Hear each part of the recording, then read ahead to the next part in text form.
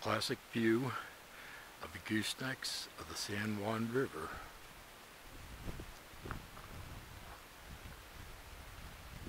Now it's over a thousand feet off.